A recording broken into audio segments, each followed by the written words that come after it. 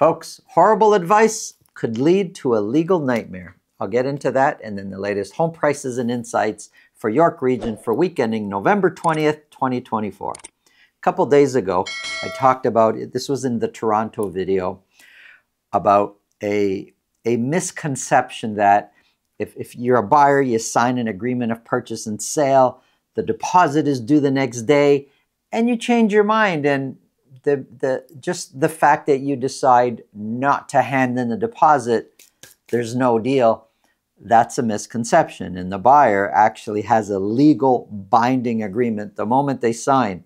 The deposit, that's something separate. You don't put that, you don't hand the deposit in in the time necessary, which is usually 24 hours, you're in breach. So we talked about that. I, although it seems I got into it, I'm not going to get into it right now. But there's another part to the whole agreement that buyers and their agents many times don't understand how this works and they think it's okay to do what I'm about to explain. And it happened to, to me in our situation a couple years back. We received an offer, we were representing the seller, we received an offer, and it was conditional on home inspection.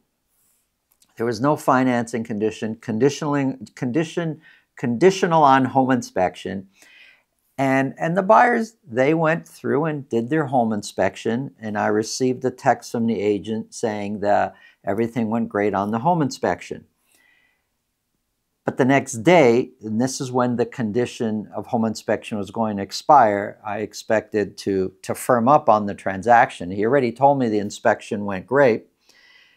He sends me another message saying, buyer could not get financing, they're backing out of the deal. They didn't have a financing condition. And here's where lots of people make a mistake. Because they have a home inspection condition, they feel that they could back out for any reason as long as it's conditional. In this case, the buyer's telling us they couldn't get the financing. But there was no financing condition, so they didn't put that into very beginning. So financing shouldn't be an issue, but that's why they want to back out of the deal.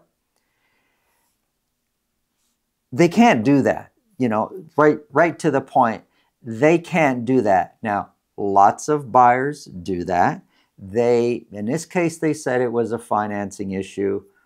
What if they just change their mind? Like, we don't really know. What if another property in that conditional period comes on the market and they like that one better and, and they use any excuse to get out of the deal. The conditions are there for a reason. And within those conditions, yes, you can, as a buyer, legally and you're within your right, without any penalties, back out of the deal within the parameters of that condition. So if there's a home inspection condition, it's got to be something related to home inspection. If it's a financing condition, you can't say, the foundation's cracked, I want out of the deal. No, it's it's got to be a financing issue. And this is where people make a lot of mistakes. They're confusing the fact that they have a condition for them to do whatever they want. And in our case, our seller was in a position to sue that buyer for breach because we it was a home inspection condition and they already told us everything was fine with the home inspection and are finding another reason to back out of the deal what's really important to also understand there's real estate buying and selling houses and then there's contract law and when you sign these agreement of purchase and sales yes it's a real estate transaction but it also encompasses contract law and I'm not in any way giving you legal advice. I am familiar with some of these procedures because of what I do every day as a realtor. But you should always be checking these things with your lawyer. Bounce these situations off your lawyer. So if you're a buyer and you want to get out of an agreement of purchase and sale, your realtor can tell you whatever they want to tell you. And they may very well be right in exactly what they're telling you, but bounce it off your lawyer. If you're a seller and a buyer's trying to get out of the deal, bounce it off your lawyer. Say, hey, look, here's what's happening. Is, is this right? Does this make sense? Do I have any recourse? In the situation that I explained, that's what we did. The situation that happened to me where the buyer says they couldn't get the financing, but they didn't have a financing condition, they had a home inspection condition.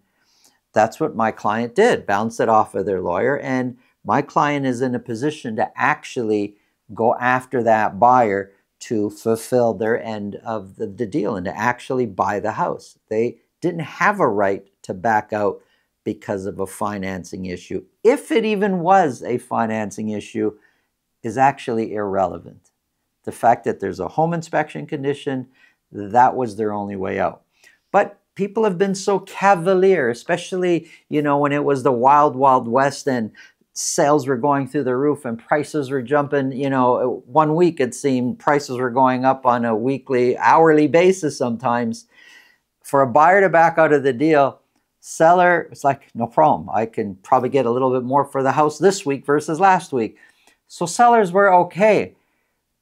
But they're not always going to be that way. And in this market, you gotta like you gotta do things legally the right way, or especially as a buyer, you could really, really get yourself in trouble.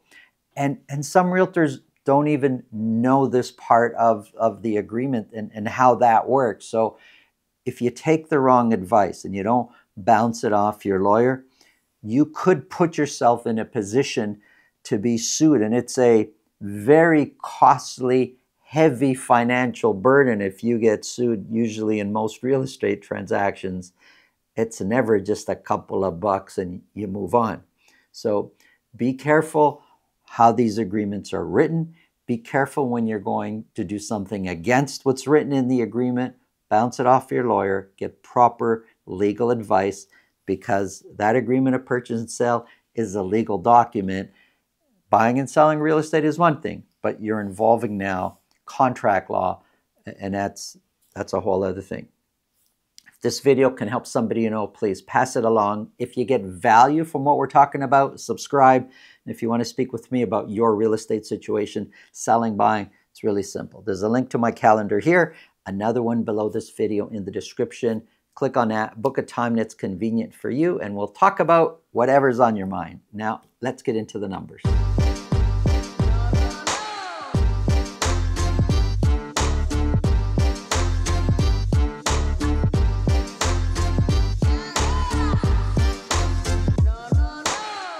Here we go, folks. We're focused on York Region, specifically Vaughan, Richmond Hill, and Markham for detached properties only. We're going up to week ending November the 20th. Now, just a quick, this is just average sold prices for the last three months.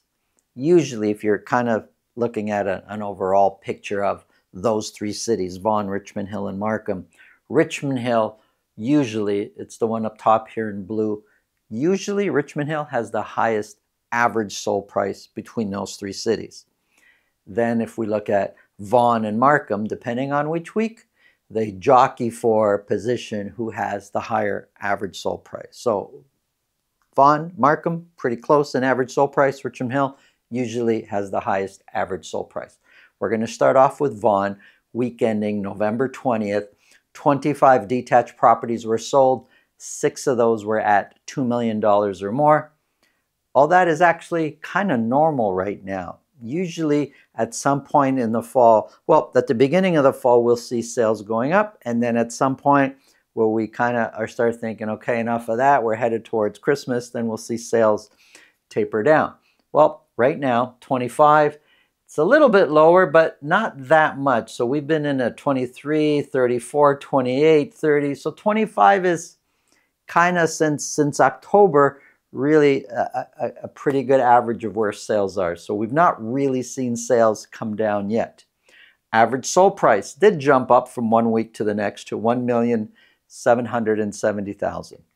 1770 is 2% higher than where we were this time a year ago. The median price is also 9% higher versus this time a year ago. The dotted line, that's a four-week moving average. And it's, it's really tough to, to kind of say which way prices are going. Overall, we've seen them go up, we've seen them go down. Overall, I would say they're kind of flat. If anything, if we kind of go back to beginning of the fall, they might have come down a little bit, but not a lot of big movement one way or, or the other for Vaughan for detached properties. 25 were sold, 20% of those sold at list price or more. If we're looking for a year to date to try to understand what, what are sales this year versus last year, so January 1st to November 20th, we're actually up in sales of detached properties by 2.6% for Vaughan only. Listings are tapering down, getting lower. Active listings are becoming fewer each week. And months of inventory is sitting at 4.2. It's up from the previous week. However, 4.2, 4.3, 3.8, it's all in the balanced market phase of between three months to five months. It really hasn't changed much over the span of four, five, six weeks. So that's Vaughan. Richmond Hill, 25 detached properties were sold. 10 of those were at $2 million or more. 10 in one week, that's, that's a big number selling at $2 million or more. 25, a little higher actually than normally what we've been seeing. So sales in, in, in sorry, in Richmond Hill picked up a little bit. Average sold price, 1,975. And if we kind of look back at the beginning of, of the fall market, kind of looks like average prices have been increasing in, in Richmond Hill, sorry. 1975 is 20% higher than where we were this time a year ago. The median price is 12% higher, and the dotted line, the four-week moving average, is trending up. 25 were sold, 28% sold at list price or more. Year over year, however, we're down. We're down 5.8% in sales. 47 were listed. Active listings is coming down. Listings themselves are coming down. And months of inventory, because we did such uh, kind of high sales from one week to the next, months of inventory has come way down to 3.7 months of inventory. That's for Richmond Hill. Markham, 17 detached properties were sold, which is much less than what we've been seeing over the last few weeks. Two of those were at $2 million or more. Average sold price down quite a bit from the previous week. We're now at 1638, 1,638,000.